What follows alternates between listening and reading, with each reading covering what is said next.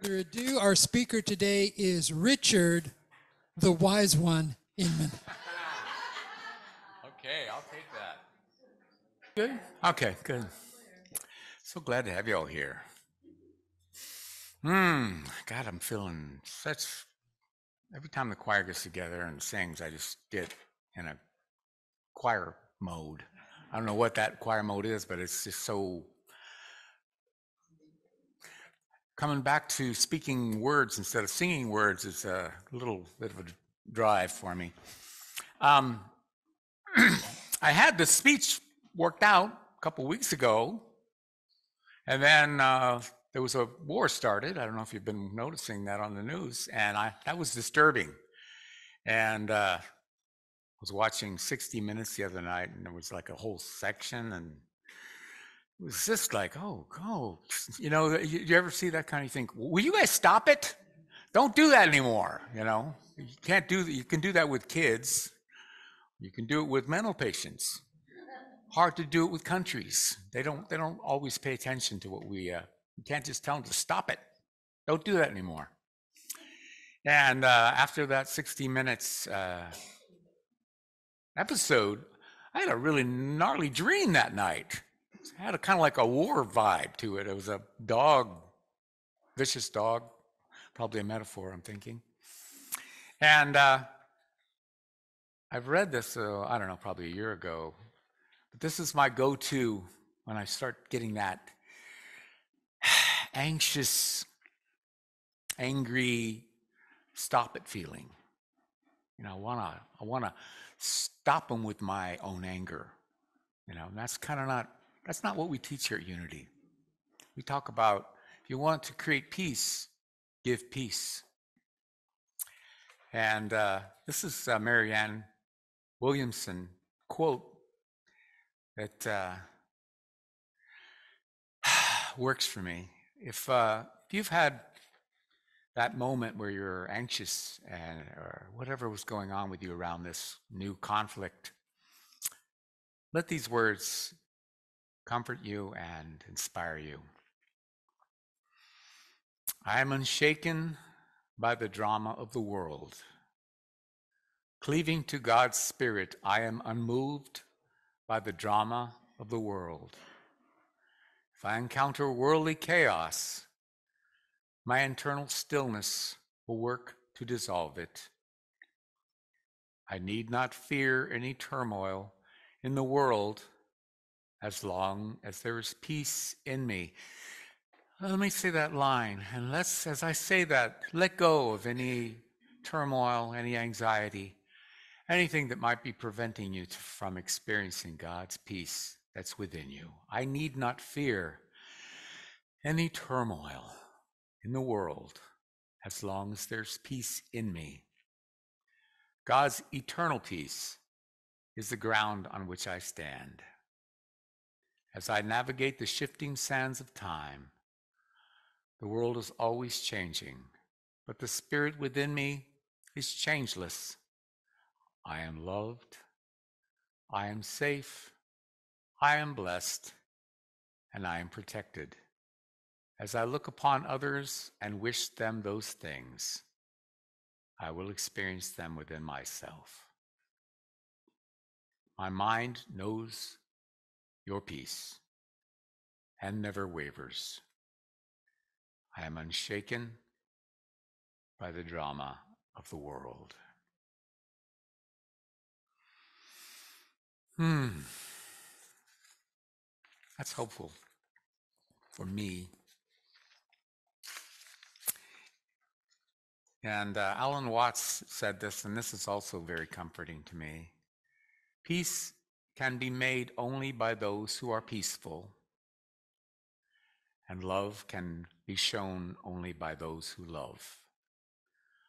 No work of love will flourish out of guilt, fear, or hollowness of heart, just as no valid plans for the future can be made by those who have no capacity for living now. I like that one. Um, my original talk was uh, going to be uh, humorous anecdotes about I took a trip to Europe last month, and I had not been to Europe in 20 years, and uh, it's changed. I've changed. Um,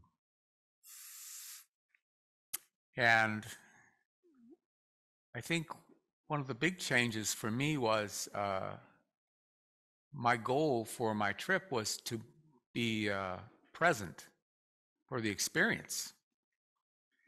Uh, when you've got an itinerary that involves flights, buses, trains, and uh, uh, underground, and you've got to be there, or you miss your flight, or you miss your da da da, you, you know, there's a, a, level of anxiety that comes up. And uh, I wrote a song before I went on that trip, and uh, it was, uh, yeah, you know, uh, sometimes you just want to write a song, and you're not thinking too much about it. You're not trying to make it complex. It's a simple song, and this song became my mantra when I was in Europe. You know, you're confronted with uh, foreign languages and unusual experiences. And it's difficult sometimes to uh, maintain your center and your connection to spirit. And this time, um, my experience of Europe was a lot different.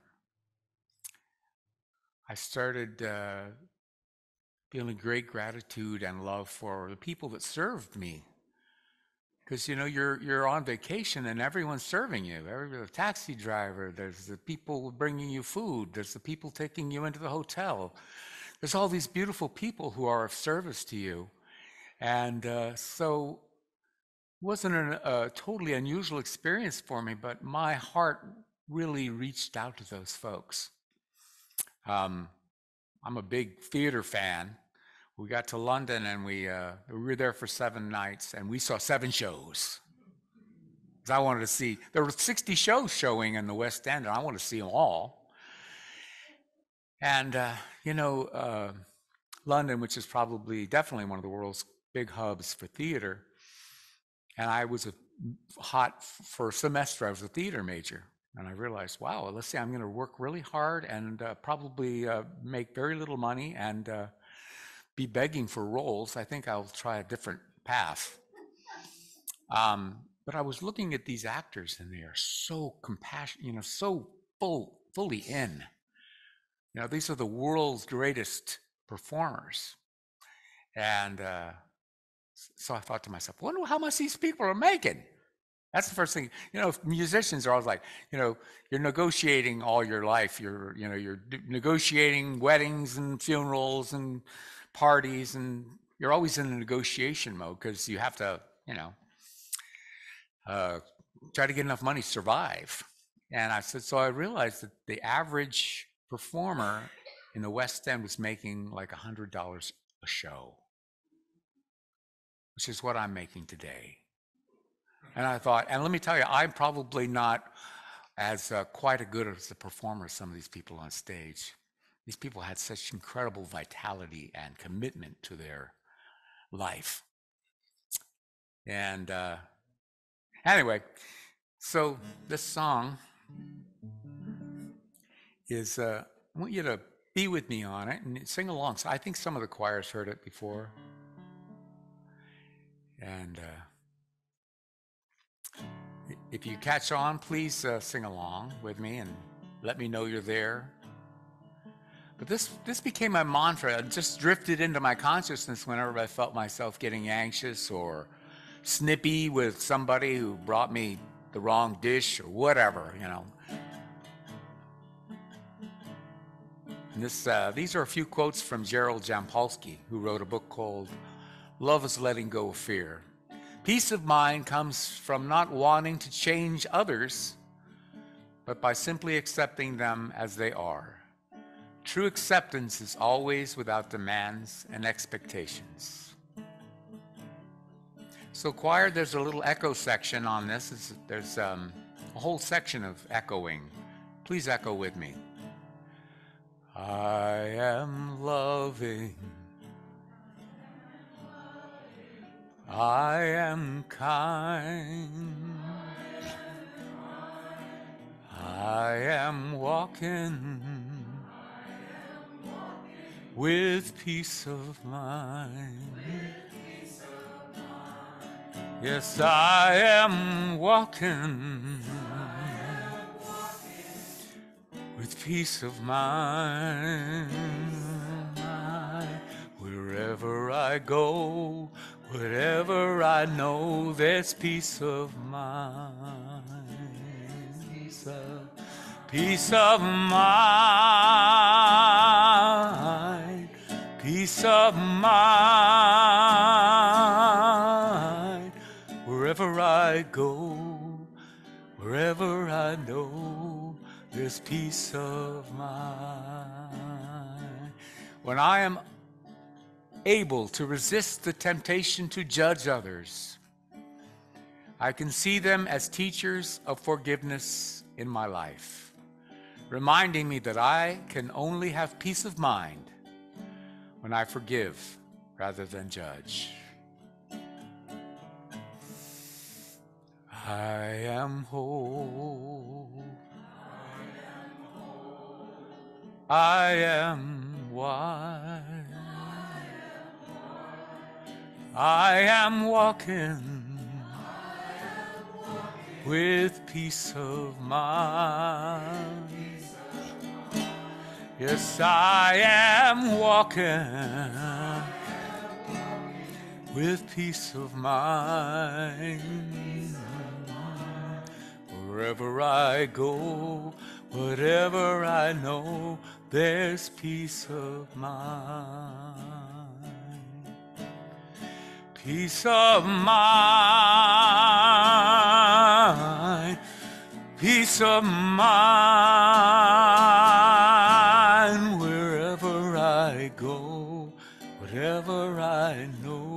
there's peace of mind.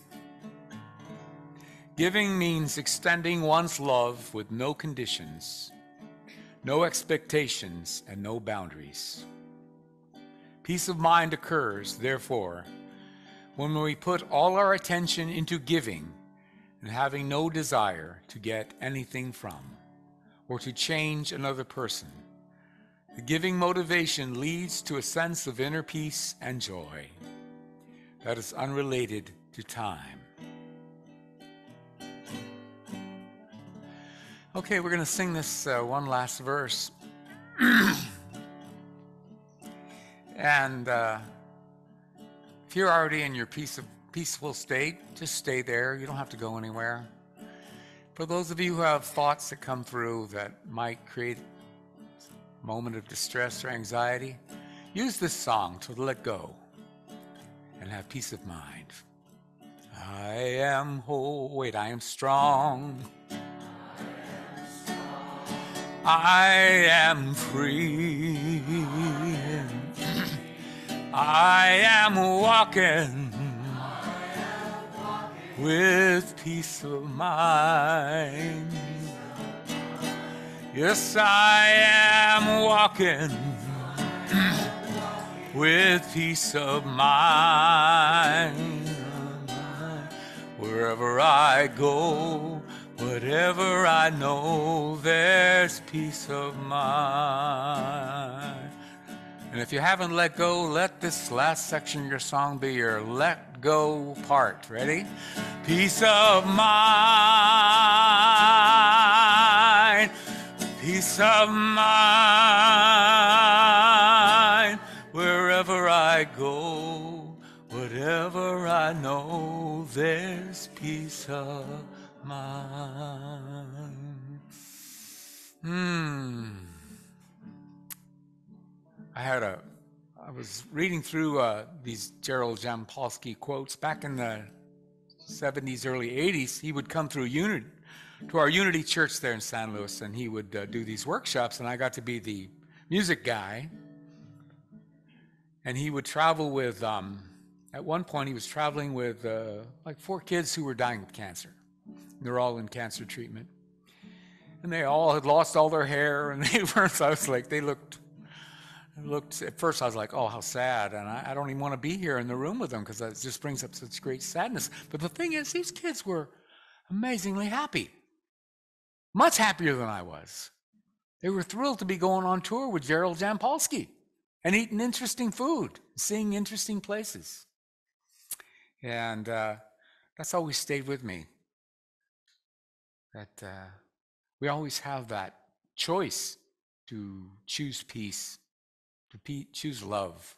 We don't have to go into grief about things unless we want to, which is a perfectly, you know, grief is an incredibly high place too.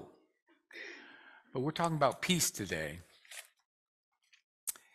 And, uh, and the name of our talk is uh, Path to Higher Consciousness. And uh, I found this beautiful description of what, what does higher consciousness look like, you know? First, first of all, I want to acknowledge us breathing and existing as human beings on this planet an incredibly high vibration. And we don't need to go anywhere to be enlightened or do anything to be more enlightened. We are already living an incredibly high vibrational place just by existing at all. And there are places we can go if we choose to do so, to, to choose to do so. And this is uh, a poem about meeting your higher self. Since the day when I met with my higher self, there has been no end to our love. I shut not my eyes, I close not my ears, I do not distress my body. I see with eyes open and smile, and behold beauty everywhere. Whatever I do, it becomes worship. The rising and the setting are one to me. All contradictions are solved. Wherever I go, there is the rhythm of music in my ears. I am immersed in that one great bliss which transcends all pleasure and pain. Let's take a deep breath right now and let go of anything that prevents us from transcending all pleasure and pain.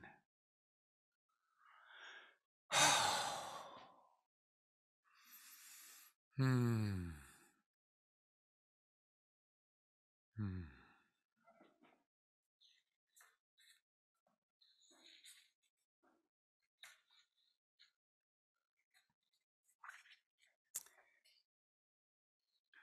Um, my last talk, I talked a little bit about Myrtle Fillmore, who was basically the instigator and beginner of uh, Unity Church. And I mentioned to that that she used uh, some aff- affirmative prayer to heal her of tuberculosis. And I mentioned also that in that day, she was born around 1850. And then at 40, she was dying of tuberculosis, and they gave her a few months to live. And she started using some positive affirmations, some powerful informations, uh, affirmations. And uh, one of the things that happened to me when I was in Europe is I got uh, word that a really good friend of mine died of cancer, and it was unexpected. Uh, I knew he had gone to the hospital for some little thing, but he, he kind of kept it from us, and he died. And, and when when someone that you truly love dies unexpectedly, and it kind of did something to me while I was on that trip, was uh, made me realize that every day and every moment we live here is a beautiful gift. And we can imbue that with peace and love and bliss. We have that power. And for those of you are having some health issues, and many of us are as we get a little older, as things come up, um, you know, Myrtle was dying of tuberculosis. She started doing these affirmations and she lived to be 84. And it says right here, uh, Myrtle passed away at the age of, oh, 86. And on the day she did, she walked around at work, hugging people and saying goodbye. She had no appearance of illness. She had simply decided it was time to go home to God. She went to bed and gently left her body that night. Her husband, Charles, also used these principles to heal his body when he was a boy. He had a bad fall and broke his hip socket. His leg was withered, painful, and four inches shorter than the other leg. Over the two year period that he was healing, he did it through prayer and meditation, and his leg grew three and a half inches and straightened out. He felt so good, he wrote this at the age of 94. This is uh, Chris's favorite quote. For you, Chris. I fairly sizzle. He's 94. I fairly sizzle with zeal and enthusiasm. That need, uh, excuse me, I fairly sizzle with zeal and enthusiasm, and I spring forth with a mighty faith to do the things that need to be done by me. Charles lived until the age of 94, and they say that he was so healthy that he was surprised the day he made his transition that lifetime was over. He was surprised. I think, yeah. So I'm just going to run through a couple of these um, affirmations that I think are powerful. These are the ones that Myrtle used to heal herself. I'm going to say them, and I'd like you, if it feels true to you, repeat it back to me. So take a deep breath and release, and we will begin to speak to our body.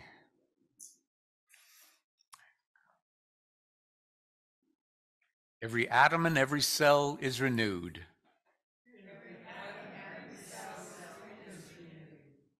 I am ever renewing.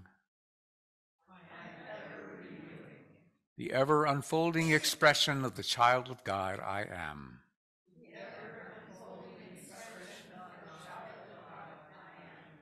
I am young, strong, and healthy. Hmm. My body knows it, my body shows it. And here's the important one, I think. In spite of appearances, there is only perfect God life in me.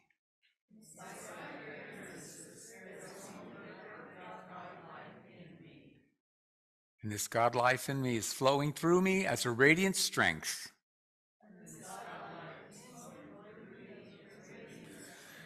And this God life in me is flowing through me, revitalizing my life.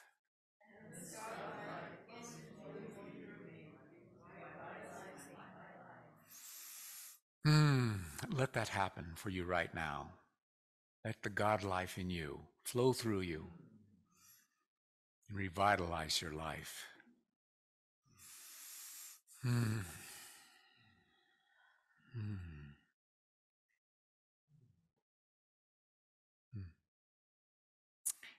I have a I have an affirmation that I use.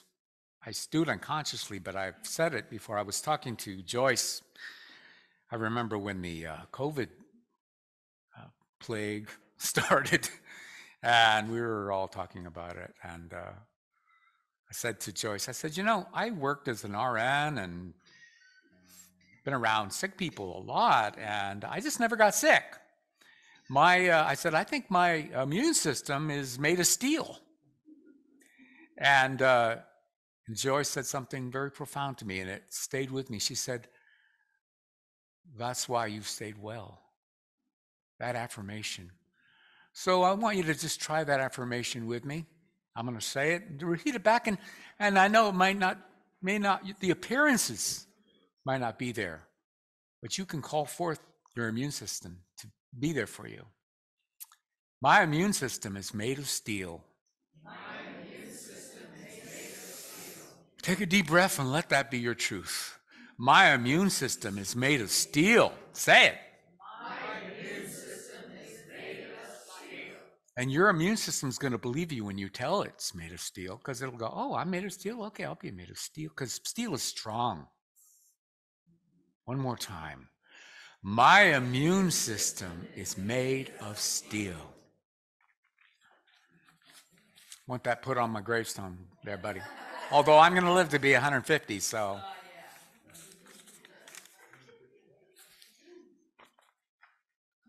Um, I can find the lyrics. Oh, here.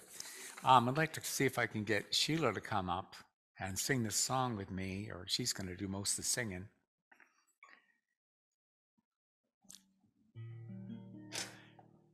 Um, not all of these lyrics are uh, unity approved, but there is there is a uh, yeah, it's not not unity approved. There is uh, there's a part of the uh, uh, chorus that says, "You are pulled from the wreckage of your silent reverie. You're in the arms of the angel. May you find some comfort here." And uh, I thought this was a beautiful tune for people who are having challenges. This is a ch- the challenge month. There are people who are having challenges, and I want to send this song out to them. And if you're having a challenge, or you know someone who's having a challenge, let this be a uh, song of comfort.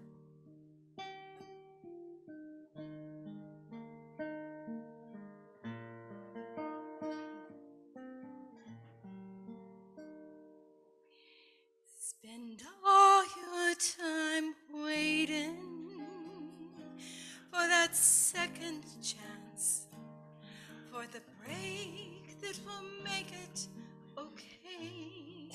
There's always some reason to feel not good enough, and it's hard at the end of the day. I need some distraction. Oh, beautiful release. Memories seep from my veins. Let me be empty and weightless, and maybe I'll find some peace tonight. In the arms of the angel, fly away from here, from this dark, cold hotel room, and the emptiness that you fear. You are pulled from the wreckage of your silent reverie. You're in the arms